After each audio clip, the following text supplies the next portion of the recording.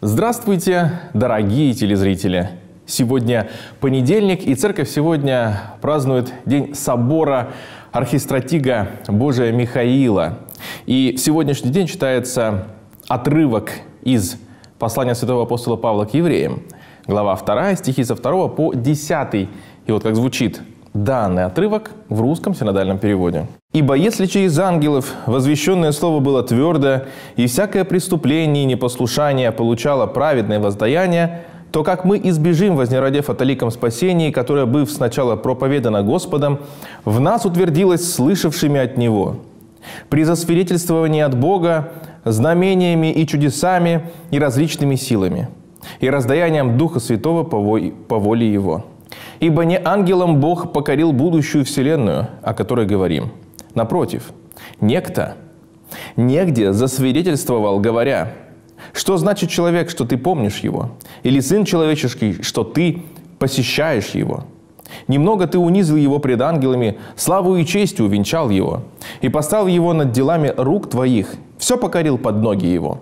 Когда же покорил ему все, то не оставил ничего непокоренным ему, ныне же еще не видим, чтобы было ему все покорено. Но видим, что за претерпение смерти увенчан славою и честью Иисус, который немного был унижен пред ангелами, дабы ему по благодати Божией вкусить смерть за всех. Ибо надлежало, чтобы тот, для которого все и от которого все, приводящего многих сынов в славу, вождя спасения их совершил через страдания. Итак, дорогие братья и сестры, мы с вами сегодня читаем отрывок из послания святого апостола Павла к евреям, стихи 2, со 2 по 10, глава 2. Итак, апостол Павел пишет, «Ибо если через ангелов возвещенное слово было твердо, и всякое преступление и непослушание получало праведное воздаяние, то как мы избежим, вознеродев от оликом спасении, которое, быв сначала проповедано Господом, в нас утвердилось слышавшими от Него, при засвидетельствовании от Бога знамениями и чудесами, различными силами, раздаянием Духа Святаго по Его воле. Это все одно предложение. Довольно-таки сложный текст, но стихов здесь э, со второго по четвертый. Да? То есть получается, что три стиха. Второй, третий и четвертый стихи. Итак, что мы здесь видим? Здесь сначала апостол Павел говорит о неких ангелах, э, через которых возвещенное слово было твердо. Что это за слово? Здесь как раз-таки мы имеем уникальный взгляд на Ветхий Завет. И здесь э, в первой главе данного послания к евреям говорится о том, что через, через ангелов Моисею дано было слово, и это слово было твердо.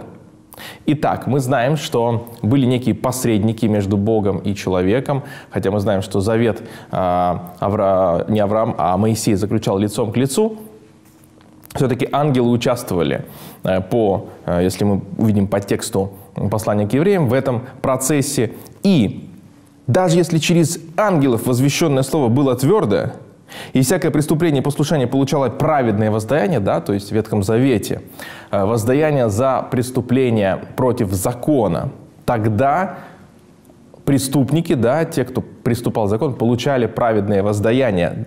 И если через ангелов возвещенное слово – получало а, такое воздаяние и было в таком а, внимательном рассмотрении, да, то как мы избежим, вознеродев от ликом спасении, которое, быв сначала проповедано Господом, в нас утвердилось слышавшим от Него. То есть, если слово, проповеданное через ангелов, а, было очень твердо и непоругаемо, то есть за преступление, скажем так, люди несли праведный а, гнев Божий на себе, то как мы избежим гнева Божия, вознеродев от оликом спасения, которое преподано нам не ангелами, а самим Господом. И утвердилось в нас, в церкви, э, слышавшим от Него, то есть прежде всего родоначальниками, э, первыми э, членами церкви, это апостолами – при засвидетельствовании от Бога знамениями, чудесами, различными силами, разданием Духа Святого по Его воле. Итак, Дух Святой раздается по воле Божьей через уверовавших в Его Слово апостолов. Проповедано это слово самим Господом. То есть начало учения берется не в измышлениях человеческих, а от самого Господа нашего Иисуса Христа. Соответственно, помимо этого, а, слово проповедано Господом, воспринято через веру апостолами, да, в день Пятидесятницы открыта вся полнота этого а, Слова Божия, этого знания да, о Боге а, через Духа Святого, да, в день Пятидесятницы, они стали разуметь, они знали Писание, теперь стали его правильно разуметь. Итак, а, но критерием еще является знамение и чудеса. Вера апостолов проявляла себя именно таким образом – знамениями и чудесами, исцелениями и различной помощью. Мы знаем, что апостол Павла а, укусила змея и ядовитая, и ничего ему от этого не стало из книги «Деяний святых апостолов». Мы знаем об исцелении а, хромых, хромых от рождения – да, то есть те люди, которые, в принципе, могли надеяться только на чудо, и оно с ними произошло. То есть вот эти знамения и чудеса, которые мы, с которыми мы встречаемся в Новом Завете, а, знамения чудеса именно от апостолов, они подтверждают истинность принятыми ими Слова Божие, Евангелие, которое проповедано Господом. Итак, ибо не ангелом Бог покорил будущую вселенную, о которой говорим. Здесь важный элемент, что учение ангельское, учение об ангелах, оно всегда будоражит умы человеческие. Всегда человеку хочется прикоснуться с чем-то мистическим. А, по крайней мере, об этом размышлять, об этом думать. И также было, вероятно, и в еврейской общине, в той общине, которая пишет автор данного послания, свое послание. И а, здесь главнейший акцент, в принципе, в сегодняшнем тексте и, в принципе, во всем послании на Господе Иисусе Христе, что на самом деле, какими бы э, мистически интересными ангелы не были, мы должны сфокусировать свою веру и основные догматические положения прежде всего на Господе Иисусе Христе. Ибо не ангелом Бог покорил будущую вселенную, о которой говорим, что же говорим о будущей Вселенной?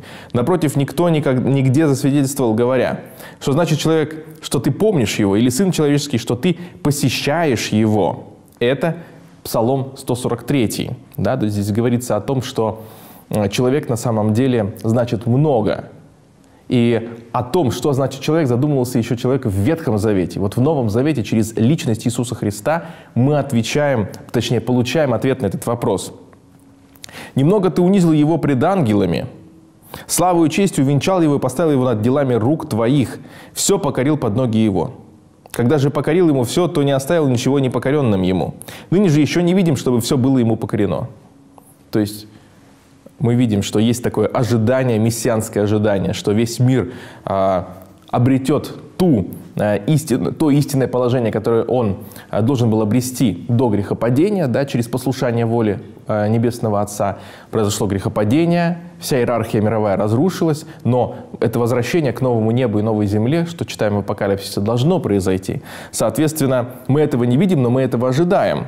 Ныне же еще не видим чтобы все было ему покорено. Но видим, но все-таки мы видим начатки этого нашего спасения, начатки этого принципа. Но видим, что за претерпение смерти увенчан славой и честью и Иисус, который немного был унижен пред ангелами, дабы ему по благодати Божией вкусить смерть за всех. Действительно, он стал подобным человеком. Он ограничил свое свою свободу, свою божественную свободу ради людей. И даже стал меньше ангелов. Но по своему желанию, по своей воле и о чем и говорит нам Господь Иисус Христос в самом начале своей проповеди. Да? А, «Последуйте за мной, да, поступайте, как я, ибо я кроток и смирен сердцем». Вот эта кротость и смирение сердца как раз-таки есть в этом уничижении даже перед ангелами. «Ибо надлежало, чтобы тот, для которого все и от которого все, приводящего многих сынов славы вождя спасения, совершил через страдания». Здесь говорится о необходимости страдания Мессии, о том, что он был унижен перед ангелами, но не ангелами Э, не ангелам Бог э, передал всю Вселенную, а именно этому э, униженному перед ними. Соответственно, вспомните слова Спасителя «Кто первый среди вас хочет быть, да будет вам слуга». Первые станут последними, и последние станут первыми. Да, вот эта вот антиномия смирения христианская, она всем нам должна быть не чужда. Поэтому мы должны подражать Господу в смирении, в покаянии. То, как Он учит нас жить во Христе, жить в Боге, жить в Духе. Да? Мы должны через покаяние а, обновлять свое истлевшее грехом естество, смирению учиться у Господа нашего Иисуса Христа и со смирением нести крест в своей жизни, со страхом Божьим совершая дело нашего спасения. Поэтому будем молиться, дорогие братья и сестры, помнить о том, что когда мы молимся, мы обращаемся к Богу, когда читаем Писание, Бог с Его страниц обращается к нам. Всем радости о Господе и до новых встреч! Господи, Господь